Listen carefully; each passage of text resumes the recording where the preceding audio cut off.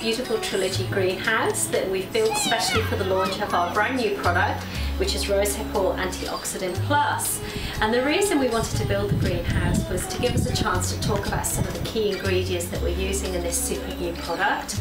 Of course the main ingredient is our certified organic rosehip oil, but we've also added an extra special ingredient which is specially from tomato seed oil. And the lycopene from the tomato seed oil is a great super antioxidant to give even more added protection so that when you put the rosehip oil on your skin at night or during the day, it's going to give your skin even more benefits and protect from environmental damage.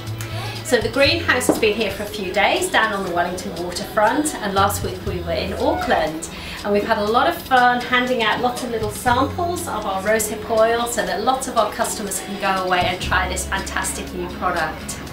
And then at the end of our event, a lucky school in Wellington that belongs to the Enviro School program is going to win this beautiful greenhouse so that the children can carry on learning about sustainability and hopefully carry on growing some lovely tomato plants.